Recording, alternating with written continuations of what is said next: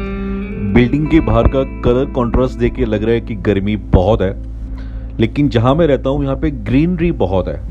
इसलिए गर्मी का उतना एहसास नहीं होता। बनो और ये मेरी कार, दोनों प्रॉपर पार्किंग में लगे हुए हैं। कार दोस्तों, मैंने बहुत टाइम से यूज़ ही नहीं की है। और कल मैकेनिक को दिया था तो उसने जो भी सर्विस थी वो तो कर दी लेकिन इसमें पेट्रोल नहीं भराया है।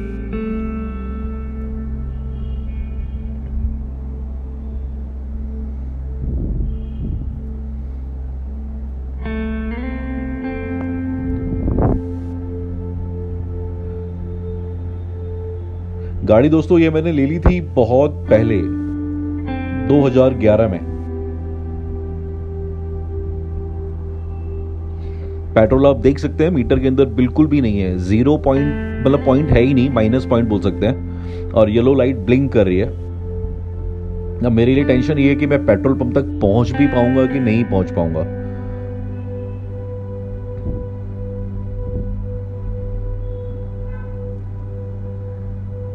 जब आपकी कार में पेट्रोल ना हो और इतनी हैवी व्हीकल मतलब इसको आप धक्का भी नहीं मार सकते हो और इस टाइम पे अगर वेट करना पड़ा, जैसे अभी मैं कर रहा हूँ तो एक एक मिनट बहुत भारी पड़ता है। इनफैक्ट एक एक सेकंड बहुत भारी पड़ता है। लेकिन वॉचमैन एकदम मुस्तैद है, फटाफट आ गया है।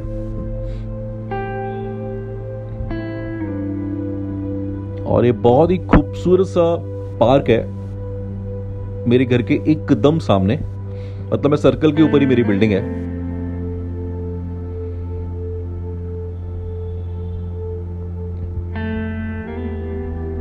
अब आप देख सकते हैं कि इसका मीटर धीरे धीरे बढ़ रहा है। पेट्रोल। तो एक बहुत जो डर वाली बात थी मेरे दिमाग में, वो निकल गई है।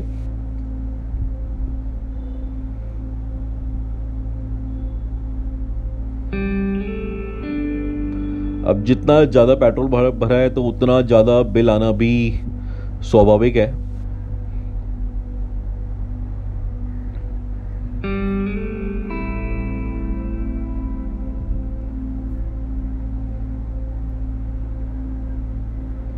अब ज़रूरत है इसके अंदर, चारों पहियों के अंदर एयर प्रेशर चेक करने की।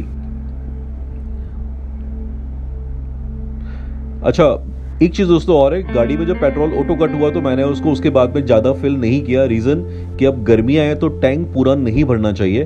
थोड़ी उसमें एयर के लिए स्पेस होना ही चाहिए। वैसे ही सेम टायर्स के साथ में भी है।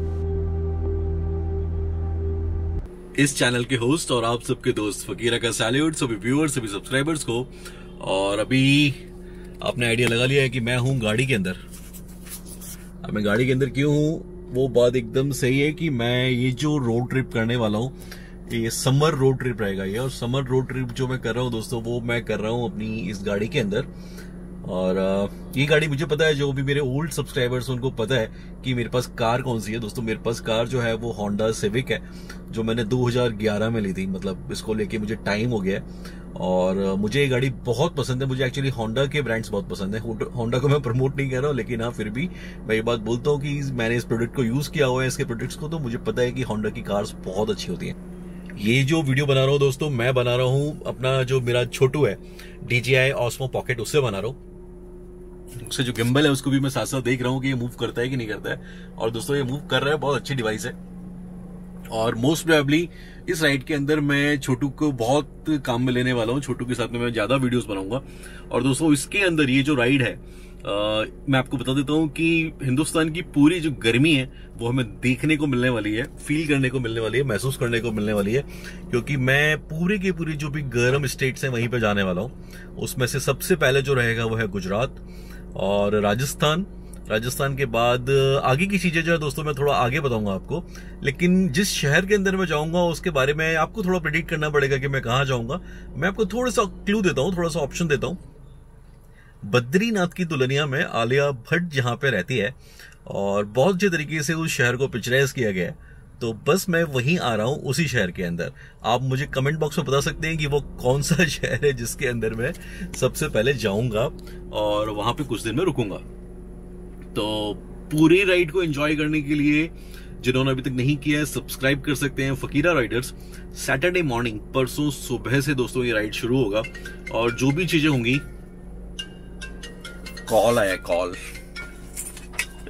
दिखते हैं किसके? क्रेडिट कार्ड डिपार्टमेंट का कॉल था। मतलब क्रेडिट कार्ड डिपार्टमेंट का नहीं, उन्हें क्रेडिट कार्ड सेल करना था। दोस्तों एक चीज़ मैं आपको और एडवाइस कर देता हूँ। आप लोग मेरी बातों को बहुत मानते हैं, समझते हैं और आपको पता है कि मैं कोशिश करता हूँ कि जो भी मेरे व्यूअर्स हैं, उनके लिए कुछ ना कुछ अच्छे से अच्छी नॉलेज दे पाऊँ। दोस्तों, जो भी लोग क्रेडिट कार्ड यूज़ करते हैं, मुझे लगता है कि उनको क्रेडिट कार्ड फाड़ के फेंक देना चाहिए। ये एक दिखने में बहुत अच्छी सी चीज़ लगती है, लेकिन जितना भी आपके पास डेबिट कार्ड के अंदर पैसा है वही यूज़ करो, सबसे बेस्ट है। क्रेडिट कार्ड्स अवॉइड करो, और अगर आपको रखने हैं तो एक दो रख लो। होता क्या कि अगर आपके ट्रांजेक्शन ठीक होते हैं तो आपको पता नहीं कितने सारे बैंक्स बार बार क्रेडिट कार्ड क्रेडिट कार्ड बेचते रहते हैं। होता तो ये है कि इनफैक्ट आपको नंबर नंबर उनके पास में सब होता है। मैं कई बार अपने ऑफ़िस पहुँचता था तो वहाँ पे ऑलरेडी कोई ना कोई क्रेडिट कार्ड आके रखा रहता था। गलती से भी आपने यूज़ कर लिया तो फिर आप उनके रेगुलर क्लाइंट बन गए। मैं तो बोलता हूँ कि आप एक दो, अगर रखना है तो एक दो रख लो, लेकिन अदरवाइज़ अवॉइड करो क्रेडिट कार्ड्स अपनी काम की बात करते हैं राइट की बात करते हैं। मुझे पता है कि बहुत सारे लोगों को ये बात आइडिया लग गया है कि मैं कौन से शहर की बात कर रहा हूँ जिन्हें नहीं लगा है, शायद वो सर्च करेगी गूगल पे कि कौन सा ऐसा शहर है जहाँ पे आलिया भट्ट ने जो उस पिक्चर के अंदर जो किरदार निभाया है, वो रहते थी वहाँ पे। और बहुत ही गजब का वो फ़िल्म है, बहुत ही रोमांटिक उसके सॉन्ग्स हैं। और जो हमारा शहर है, जिसको बहुत अच्छे तरीके से पिक्चराइज किया गया है। तो दोस्तों, पूरी कोशिश मैं भी करूँगा कि मैं भी उस शहर को अच्छे से पिक्चराइज करूँ। और उस शहर को नहीं, बल्कि जहाँ जहाँ मैं जाऊँगा, मैं इस बार ड्रोन फकीरा का जो बाज है, उसको लेके जाने वाला हूँ। और लेकिन मुझे पता है, गर्मियों के अंदर एरियल व्यू में बहुत कुछ देखने को बहुत अच्छा मिलेगा, मुझे नहीं पता है। लेकिन जिन जिन भी जगहों पर मैं जाने वाला हूँ, वो जगह गर्मियाँ और वहाँ पे इस तरीके का जो भी कंस्ट्रक्शन है, इस तरीके की जो भी चीज़ें हैं, उसी की वजह से फ़ेमस है। तो डेफिनेटली ड्रोन शॉट के अंदर मुझे लगता है कि हम सब लोगों को बहुत मज़ा आने वाला है। तो फ्रेंड्स आप सबको ये समझ में तो आ गया है कि ये जो है कोई व्लॉग उस तरीके का व्लॉग नहीं है। ये जस्ट एक आपको अपडेट मैंने किया है कि मैं बस एक राइड पर निकल रहा हूँ। तो दोस्तों, जिनों, जिन भी लोगों को हिंदुस्तान की गर्मी देखनी है, और ये रोड्स जो है, हमारी कितनी गर्म हो चुकी है हाईवेज कितने गर्म हो चुके हैं मतलब इसमें ऐसा लगता है कि लोग अपने ए के अंदर ही रहना पसंद करते हैं। जहाँ कूलर चलता है, वहाँ कूलर चला के रहते हैं, लेकिन अपने घर से बाहर दिन में नहीं निकलना चाहते हैं। लेकिन मेरे जैसे फ़कीर के साथ प्रॉब्लम ये होती है कि हम बिना घूमे, बिना ट्रैवल किए रह नहीं सकते और काफ़ी दिनों से मैंने ट्रैवल किया नहीं है। तो दोस्तों, अब रही बात पक्की कि अब मैं निकल रहा हूँ सैटरडे को।